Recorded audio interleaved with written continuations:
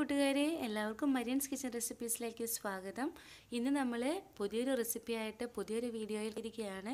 ഇന്നത്തെ വീഡിയോയിൽ ചെയ്യാൻ പോകുന്ന റെസിപ്പി പാൻ കേക്കിന്റേതാണ് പാൻ കേക്ക് എന്ന് പറയുമ്പോൾ വളരെ ഈസി ആയിട്ട് സിമ്പിളായിട്ട് ചെയ്യാൻ പറ്റാവുന്ന ഒരു കേക്ക് കേക്ക് എന്ന് തന്നെ പറയാം.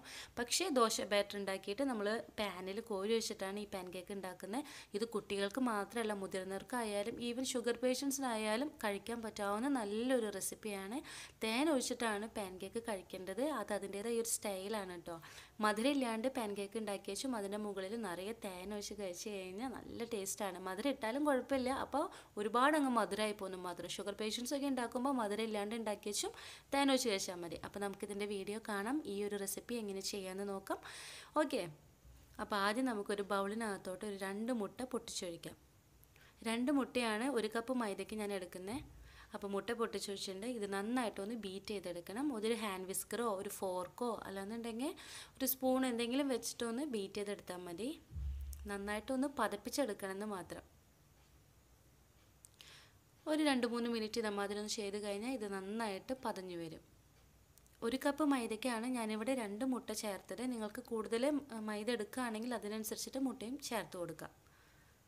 ഇതിനകത്തോട്ട് നമുക്ക് പഞ്ചസാര ചേർത്ത് കൊടുക്കാം. അര കപ്പ് പഞ്ചസാരയാണ് ഞാനിവിടെ എടുക്കുന്നത്. പൊടിച്ചതൊന്നുമല്ല സാധാ പഞ്ചസാര. ഇത് ഇതിനകത്തോട്ട് ഇട്ടിട്ട് നന്നായിട്ടൊന്ന് മിക്സ് ചെയ്തെടുക്കാം. പഞ്ചസാരയുടെ അളവ് നിങ്ങൾക്ക് വേണമെന്നുണ്ടെങ്കിൽ കുറയ്ക്കാം. കാരണം ലാസ്റ്റ് നമ്മൾ തേന ഒഴിച്ചിട്ടല്ല കഴിക്കുന്നത് അപ്പോൾ നല്ല മധുരം ഉണ്ടായിരിക്കും ഈ ഒരു പാൻ കേക്കിന് അപ്പോൾ അതുകൊണ്ട് പഞ്ചസാരയുടെ അളവ് നിങ്ങൾക്ക് കുറച്ച് ഉപയോഗിക്കാം. ഇനി ഇതിനകത്തോട്ട് നമുക്ക് അല്പം ഉപ്പ് ചേർത്ത് കൊടുക്കാം. ആ മധുരം ഒന്ന് ബാലൻസ് ചെയ്ത് പോകാൻ വേണ്ടിയിട്ടാണ് ഞാനിവിടെ ഉപ്പ് ചേർത്തത്. ഒരു നുള്ളു മതി. അത് മിക്സ് ചെയ്ത് വന്നു കഴിഞ്ഞാൽ അതിനകത്തോട്ട് അര ടീസ്പൂൺ ബേക്കിംഗ് സോഡ ചേർത്ത് കൊടുക്കുക. അതും ഇതേപോലെ തന്നെ നന്നായിട്ടൊന്ന് മിക്സ് ചെയ്ത് കൊടുക്കണം. ഓരോ ഇൻഗ്രീഡിയന്റ് ചേർക്കുമ്പോഴും നന്നായിട്ട് മിക്സ് ചെയ്ത് കൊടുക്കുക. അതിനുശേഷം അടുത്ത ഇൻഗ്രീഡിയന്റ് ചേർത്തിട്ട് നന്നായിട്ട് മിക്സ് ചെയ്തെടുത്താൽ മതി. അപ്പോൾ ഇത് നല്ലതായിട്ട് കൂട്ട് റെഡിയാക്കുക. അതിനകത്തോട്ട് നമുക്ക് വാനില എസൻസ് ചേർത്ത് കൊടുക്കാം. അതും അര ടീസ്പൂൺ വാനില എസൻസ് തന്നെയാണ് ചേർത്ത് കൊടുക്കുന്നത്. നമ്മുടെ പാൻകേക്കിന് നല്ലൊരു ഫ്ലേവർ വരണ്ടേ. നമ്മൾ രണ്ട് മുട്ട ചേർത്താണ് കാരണം മുട്ടയുടെ ടേസ്റ്റ് അധികം നിൽക്കാൻ പാടില്ല. അതുകൊണ്ടാണ് അര ടീസ്പൂൺ വാനില എസൻസ് നമ്മൾ ചേർത്ത് കൊടുത്തത്. അതും ചേർത്തിട്ട് നേരത്തെ പറഞ്ഞോണം നന്നായിട്ടൊന്ന് മിക്സ് ചെയ്തെടുത്ത് ഈ കൂട്ടൊന്ന് റെഡിയാക്കുക. കൂട്ട് റെഡിയായി വന്നിട്ടുണ്ട്. ഇതിനകത്തോട്ട് രണ്ട് ടേബിൾ സ്പൂൺ ഓയിൽ ചേർത്ത് കൊടുക്കുക. അത് ഏതെങ്കിലും വെജിറ്റബിൾ ഓയിൽ നിങ്ങൾക്ക് ചേർത്ത് കൊടുക്കാം. സൺഫ്ലവർ ഓയിൽ അല്ലെങ്കിൽ ഏതെങ്കിലും റിഫൈൻഡ് ഓയിൽ ചേർത്ത് കൊടുക്കുക. അതും ചേർത്തിട്ട് നന്നായിട്ടൊന്ന് മിക്സ് ചെയ്തെടുക്കുക. നമ്മുടെ പാൻ കേക്കിന് നല്ലൊരു മോയ്സ്ചറൈസിങ് ഇഫക്റ്റ് കിട്ടുന്നുണ്ട്. അപ്പോൾ അതിന് വേണ്ടിയിട്ടാണ് നമ്മളിവിടെ ഓയിൽ ചേർത്ത് കൊടുത്തത് ഇതിന് പകരം നിങ്ങൾക്ക് രണ്ട് ടേബിൾ സ്പൂൺ ബട്ടർ ആയാലും യൂസ് ചെയ്യാം ഈ കൂട്ടിലേക്ക് നമുക്ക് ഒരു കപ്പ് മൈദ ചേർത്ത് കൊടുക്കണം. ആദ്യം അര കപ്പ് മൈദ ചേർത്ത് കൊടുക്കുക. നമ്മുടെ ഈ ബാറ്റർ അര കപ്പ് മൈദയായിട്ട് നന്നായിട്ട് മിക്സ് ചെയ്ത് വന്നതിന് ശേഷം ബാക്കിയുള്ള അര കപ്പും കൂടി നമുക്ക് ഇതിനകത്തോട്ട് ചേർത്ത് കൊടുക്കാം. ബാക്കിയുള്ളത് ചേർത്ത് മിക്സ് ചെയ്യുമ്പോൾ നിങ്ങൾക്ക് ഇതിന്റെ വെള്ളം പോരാതെ വരും. അപ്പോൾ അതുകൊണ്ട് നമുക്ക് ഇതിനകത്തോട്ട് പാൽ ചേർത്ത് കൊടുക്കാം. അര കപ്പ് പാലാണ് വേണ്ടത്. ആദ്യം ഒരു കാൽ കപ്പ് പാൽ നിങ്ങൾ ഇതിനകത്തോട്ട് ചേർത്ത് കൊടുക്കാം. കാൽ കപ്പാണ് ആദ്യം ചേർക്കുന്നത്. ഇത് ഇതിനകത്തോട്ട് ഒഴിച്ചിട്ട് നന്നായിട്ട് മിക്സ് ചെയ്തെടുക്കുക. അതിനുശേഷം കാൽ കപ്പും കൂടി ഒഴിച്ചിട്ട് നന്നായിട്ട് മിക്സ് ചെയ്തെടുക്കണം. നമ്മുടെ ഒരു ദോശമാവിന്റെ ഒരു ബാറ്ററൊക്കെ ഉണ്ടാവില്ലേ? ആ ഒരു കൺസിസ്റ്റൻസിയാണ് ഇതിനകത്തും വേണ്ടത് ഈ ഒരു പാൻ കേക്കിന് അത്രയും ലൂസാവാൻ പാടില്ല. ഒരു ഇച്ചിരി കട്ടി ഉണ്ടാവണം. അപ്പോൾ ഇത് നന്നായിട്ട് മിക്സ് ചെയ്തെടുക്കുക. ബാക്കി കാൽ കപ്പ് പാലും ഒഴിച്ചിട്ട്. അപ്പോൾ ഇവിടെ ബാറ്റർ ഇവിടെ റെഡി ആയിട്ട് വന്നിട്ടുണ്ട്. കണ്ടോ? ലൂസാണ്. അന്ന് നമ്മുടെ സാധാ ദോശമാവിന്റെ അത്രയും ലൂസല്ല ഒരു ഇച്ചിരി കട്ടിയുണ്ട്.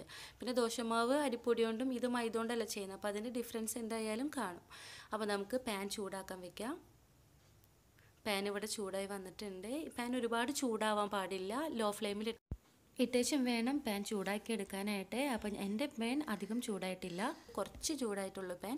അതിനകത്തോട്ട് നമുക്ക് ഒരു കപ്പ് മാവ് ചേർത്ത് കൊടുക്കാം. ഞാനിപ്പോൾ അളവ് കപ്പാണ് എടുക്കുന്നത്. ഇതില്ലാന്നുണ്ടെങ്കിൽ നിങ്ങൾക്ക് നമ്മൾ കറിക്കൊക്കെ എടുക്കുന്ന സ്റ്റീലിന്റെ ബൗളൊക്കെ ഉണ്ടാവില്ലേ അതിനകത്തോട്ട് ഒഴിച്ചു കൊടുത്താലും മതി. കാരണം എന്താണെന്ന് വെച്ച് കഴിഞ്ഞാൽ എല്ലാ പാൻ കേക്കും ഒരേ അളവിൽ എടുക്കുമ്പോഴാണ് അതിന്റെ ഒരു ഭംഗി വരുന്നത്. അപ്പം അതിന് വേണ്ടിയിട്ടാണ് അളവ് കപ്പിൽ ഒഴിച്ചു കൊടുത്തത്. ഇതും ഇങ്ങനെ ബബിൾസ് ഒക്കെ വരാൻ തുടങ്ങും. ലോ ഫ്ലെയിമിൽ ഇട്ടിട്ട് ഏകദേശം ഒരു രണ്ട് മിനിറ്റ് ഒക്കെ കഴിയുമ്പോൾ ഇതേമാതിരി ബബിൾസ് വരും. ഇങ്ങനെ വന്നു കഴിഞ്ഞാൽ നമുക്കിത് മറിച്ചിട്ട് കൊടുക്കാം. നോൺ സ്റ്റിക്കിന്റെ പാനിലാകുമ്പോൾ നമുക്ക് മറിച്ചിടാനൊക്കെ വളരെ എളുപ്പമാണ് സാധാ ചട്ടിയൊക്കെ എടുത്തു കഴിഞ്ഞാൽ അടിഭാഗമൊക്കെ കരിഞ്ഞും അല്ലെങ്കിൽ സ്റ്റിക്കൊക്കെ ആയിട്ട് പോകും അപ്പോൾ അതുകൊണ്ട് നോൺ സ്റ്റിക്കിന്റെ പാൻ എടുക്കുക. ഇത് മറിച്ചിട്ട് കൊടുക്കുക. ഈ പാൻ കേക്ക് ഉണ്ടാക്കുമ്പോൾ ഈ ഒരു കളറാണ് പാൻ കേക്കിന് വേണ്ടത്. അപ്പോൾ അതായി കഴിഞ്ഞാൽ നമുക്കിതിനകത്തൊന്ന് മാറ്റിയെടുക്കാം. നമ്മൾ ആദ്യം പാൻ കേക്ക് ഉണ്ടാക്കുമ്പോൾ അതിന് ചിലപ്പോൾ തരികളൊക്കെ പാനിൽ വീണിട്ടുണ്ടായിരിക്കും. അതെല്ലാം റിമൂവ് ചെയ്യുക. അതേപോലെ തന്നെ നമ്മുടെ പാനിന് ചൂട് കൂടുതലായിരിക്കും. അപ്പോൾ നെക്സ്റ്റ് ഒഴിക്കുമ്പോൾ അടി കരിഞ്ഞു പോകും. അപ്പോൾ അതുകൊണ്ട് കുറച്ച് വെള്ളം തെളിച്ചിട്ട് ഒന്ന് തുടച്ചെടുക്കുക. എന്നിട്ട് വേണം നെക്സ്റ്റ് മാവ് ഇതിനകത്തോട്ട് ഒഴിച്ചു കൊടുക്കാൻ. അപ്പോൾ ഞാനിവിടെ ഒന്ന് ചുറ്റിച്ചെടുത്തിട്ടുണ്ട്. വെള്ളം ഒഴിച്ചിട്ട് നിങ്ങൾക്ക് ആ സൈഡ് ഭാഗമൊക്കെ നോക്കിക്കഴിഞ്ഞാൽ കാണാൻ പറ്റും വെള്ളത്തിന്റെ ഒരു ബബിൾസൊക്കെ വരുന്നത്. അപ്പോൾ നെക്സ്റ്റ് ആ സെയിം കപ്പിൽ സെയിം അളവ് മാവാണ് ഞാൻ ഇതിനകത്തോട്ട് ഒഴിച്ചു കൊടുത്തിരിക്കുന്നത് ഈ പാൻ കേക്കും നേരത്തെ ഞാൻ ചെയ്തോണം. ബബിൾസൊക്കെ വന്നു കഴിഞ്ഞാൽ മറിച്ചിട്ട് കൊടുക്കുക. ഈ ഒരു കളറിൽ പാൻ കേക്ക് എടുക്കാനായിട്ട് ശ്രദ്ധിക്കുക. അപ്പോഴാണ് അത് അടിഭാഗം കരിഞ്ഞു പോവാതെ നമുക്ക് കിട്ടത്തുള്ളൂ. പിന്നെ ലോ ഫ്ലെയിമിൽ ഇട്ടിട്ട് വേണം ഇത് വേവിച്ചെടുക്കാനും പാൻ ചൂടാക്കാനും. ഓരോ പാൻ കേക്ക് ഉണ്ടാക്കി കഴിയുമ്പോഴും അതിന്റെ തരികളൊക്കെ വീണിട്ടുണ്ടെങ്കിൽ അതെല്ലാം റിമൂവ് ചെയ്യുക. പിന്നെ ചൂട് കുറയ്ക്കാനായിട്ട് കുറച്ച് വെള്ളം തെളിച്ച് കൊടുത്ത് ഒന്ന് എന്താ പറയുക ഒന്ന് തുടച്ചെടുക്കുക എന്നിട്ട് നെക്സ്റ്റ് മാവ് ഒഴിച്ചു കൊടുക്കുക നമ്മുടെ പാൻ കേക്ക് ഇവിടെ റെഡി ആയിട്ടുണ്ട്. അപ്പോൾ നിങ്ങളെല്ലാവരും ഈ ഒരു റെസിപ്പി വീട്ടിൽ ട്രൈ ചെയ്ത് നോക്കുക. പിന്നെ ഞാൻ നേരത്തെ പറഞ്ഞോളം തേൻ ഒഴിച്ചിട്ട് വേണം പാൻ കേക്ക് കഴിക്കാനായിട്ട്. നല്ല സോഫ്റ്റ് ആയിട്ടുള്ള പാൻ കേക്കാണ് അപ്പോൾ നെക്സ്റ്റ് വീഡിയോയിൽ നമുക്ക് വീണ്ടും കാണാം.